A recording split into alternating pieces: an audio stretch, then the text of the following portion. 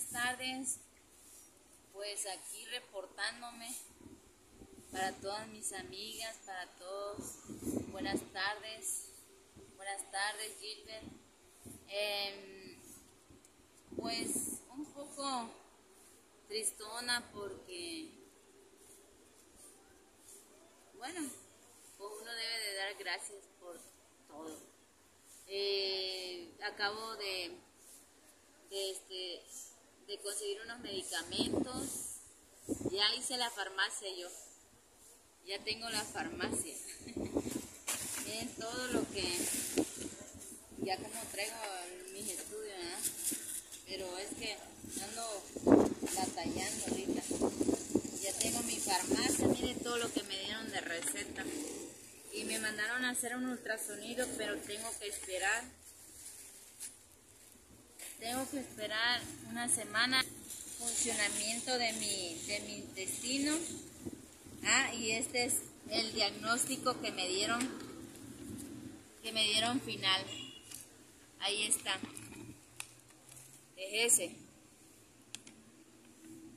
Que es oclusión, oclusión intestinal, adenitis mesentérica, estreñimiento, anemia de grado y, todo eso y la diabetes. Y pues me mandaron a hacer ahorita un ultrasonido y, miren todo lo que llevo ya de pastilla. Ya le digo que ya completé la, la farmacia y pues me pasé a comprar un topper porque aquí me voy a empezar a hacer mis mis verduras para llevarme a trabajar y pues, ¿qué creen?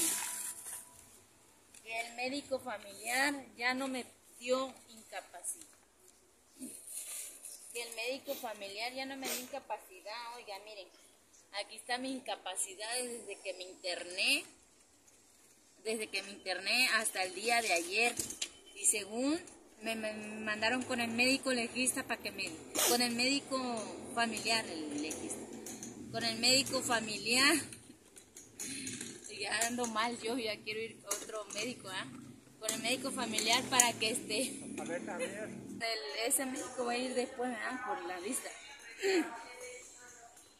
Pero desde que yo me interné hasta el día de ayer, entonces me mandaron con el familiar según para que me diera más. Y me dijo el familiar que él no da incapacidad si no estoy operada. Así de fácil me dijo.